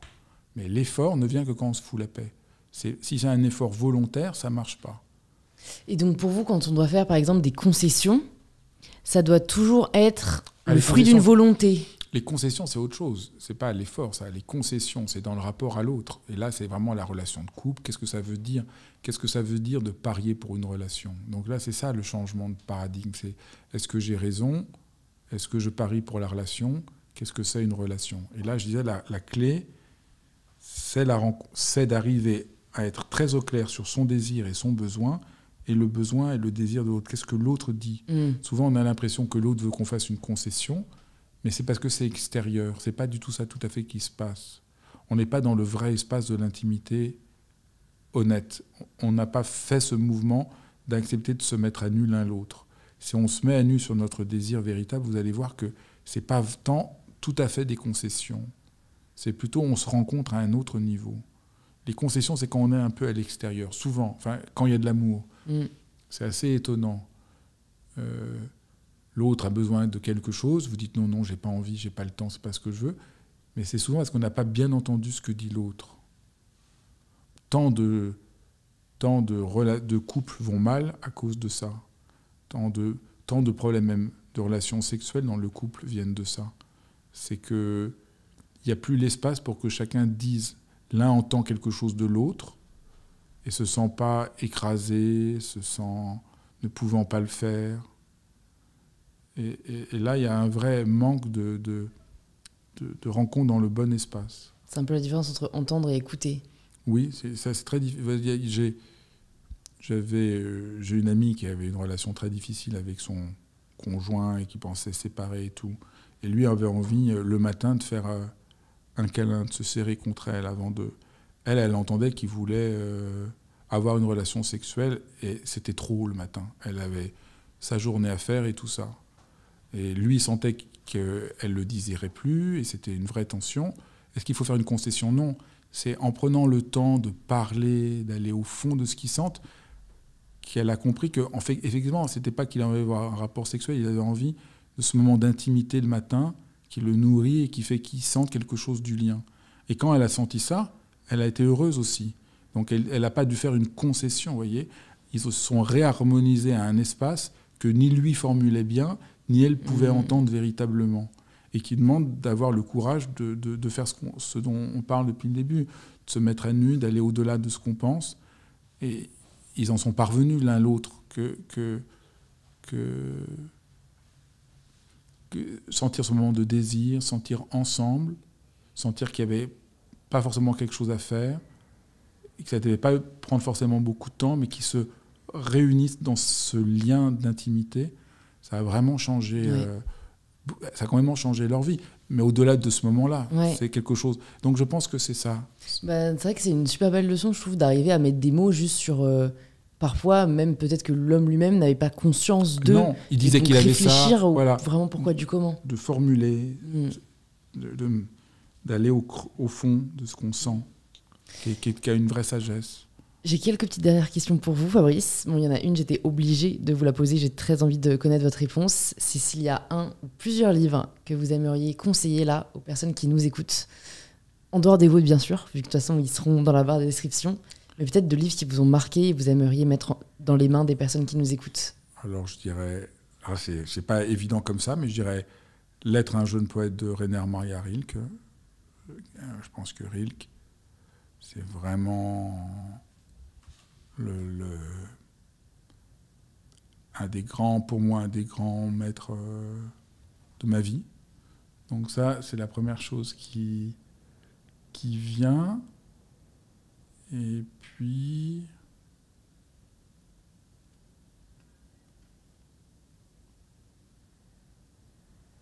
Ben, je dirais euh, lire le, le banquet de Platon, qui est un texte absolument incroyable. Alors ça fait un peu peur parce qu'il y a un livre de philo, mais c'est incroyable parce que c'est des gens qui sont à un banquet, et ils parlent et ils sont plusieurs. Il se passe plein d'aventures. Et là, euh, ça parle de l'amour. C'est le banquet sur l'amour, le désir, euh, l'intensité. Donc je trouve que c'est un, voilà, deux livres que je trouve euh, très, de très beaux, deux livres de fond. Mm. Super. Bah, ma prochaine question, c'est de vous demander si vous pouviez entendre quelqu'un euh, à ce micro, qu'est-ce que vous aimeriez entendre? Alors, euh, Kaija Sariao, qui est euh, une compositrice euh, vivante, dont je suis, que je trouve... c'est extraordinaire qu'il y a quelqu'un qui est vivant aujourd'hui, qui invente de la musique, et je trouve que c'est génial ce qu'elle fait. Et Kaija Sariao, malgré son, son, nom semble japonais, mais elle est islandaise, si ma mémoire est bonne. Et donc je prononce pas très bien, parce que c'est pas facile, mais voilà, je, je trouve que c'est quelqu'un. Euh, je trouve c'est beau. En plus, je, je, je suis content qu'une des plus grandes compositrices de musique aujourd'hui soit une femme. Ça me plaît beaucoup. Je trouve ça vraiment. Euh, et, si jamais vous l'invitez, alors vous pourrez lui dire que vous avez rencontré quelqu'un qui est un fan absolu, qui est un admirateur extraordinaire. D'accord, bah, je, je, passerai le message. ils ont fait un opéra d'elle euh, à l'opéra euh, Bastille. C'est assez rare de, quelqu'un de vivant, mm. une femme dont on invente un opéra. Je trouve ça absolument sublime. Ah, j'en ai, ça m'a beaucoup touché. Ça me touche, mais juste de penser, ça me touche beaucoup. Donc voilà, mm. c'est quelqu'un que, que, je crois euh, intéressant de rencontrer. Ok, bah, je suis curieuse d'en apprendre plus sur elle. Des, des, des, gens qui créent, qui inventent tout ma dernière question, c'est la question signature d'InPower. Ça signifie quoi pour vous prendre le pouvoir de sa vie? Prendre le pouvoir de sa vie, ça demande de doucement se défaire de ce que les autres nous disent qui serait notre propre vie, pour peu à peu être à l'écoute de ce qui nous habite, que nous ne pouvons jamais contrôler, qui vient toujours comme par surprise. Et donc le pouvoir de sa vie, c'est le pouvoir que la vie a et qu'elle adresse, qu'elle nous adresse. C'est pas le pouvoir qui est en nous, c'est plutôt le pouvoir que la vie nous adresse et qu'il faut euh, réussir à recueillir. Et au fond, c'est assez juste, il y a une adresse qui nous est faite. Donc il faut être au bon endroit pour saisir, avoir l'adresse qu'il faut. Il faut avoir de l'adresse pour euh, être en rapport à son propre pouvoir. Très bien. Du coup, pour les personnes qui nous écoutent, qui veulent en savoir plus sur vous et euh, bah, sur le cours que vous allez donner notamment sur l'hypersensibilité, qui sort, je crois, aujourd'hui même. Aujourd'hui, ceux qui veulent peuvent s'inscrire parce que je fais ça assez rare. De temps en temps, je fais un cours en visioconférence et je fais ça en six séances. Et donc, ça commence ce soir à 21h. Et il y a six séances, mais les gens peuvent le faire en replay. Et chaque fois, je présente quelques éléments sur l'hypersensibilité, mais surtout, je fais faire des exercices et des méditations. Alors, vous avez vu que je n'ai pas le même rapport à la méditation qu'on a habituellement.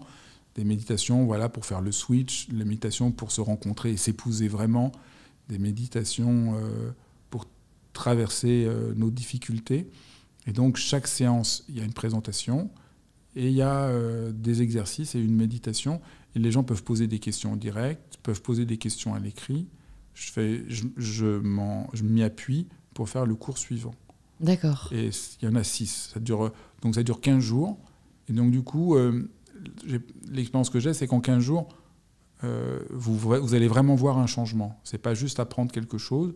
En, six séances, votre rapport à vous-même, votre rapport à votre hypersensibilité, parce que le cours là sera sur l'hypersensibilité, Après, j'en ferai un dans, deux mois sur les émotions. Qu'est-ce qu'une émotion? Comment on les apaise? Etc. Mais donc, en, six séances, je peux vraiment. Euh, il y a vraiment une, une, vraie transformation. Il y a quelque chose de vraiment. Euh, qui, qui, aide euh, très concrètement. Et alors, le fait que ce soit en visioconférence, ça, c'est la grande découverte que j'ai faite de la situation actuelle, c'est que les gens, comme ils le font de chez eux, ça s'intègre mieux à leur vie. Voilà, ils sont à la maison, ils s'occupent de ce qu'ils ont à faire. À un moment, ils font une heure et ils font cet exercice. Et donc, du coup, j'ai beaucoup de retours que les gens ont, vraiment pas juste fait un truc de méditation qu'ils font jamais, mais qu'ils ont pu trouver quelque chose qui fait sens pour eux et qui les transforme. Ok, bah écoutez, c'est parfait. Je mettrai tout ça dans, dans les notes du podcast. Et euh, bah, s'ils veulent vous retrouver, euh, on les, on les redirige où? Je crois que vous avez un compte Instagram. J'ai un compte Instagram. Et surtout, je, pense que le mieux, c'est sur ma chaîne YouTube, ouais. où, il où il se passe plein de choses. Bah super. Bah, en plus, cet épisode sera sur YouTube, donc pensez à aller voir la chaîne de Fabrice. Et bah, j'espère à bientôt. Merci beaucoup. Merci Fabrice. Merci.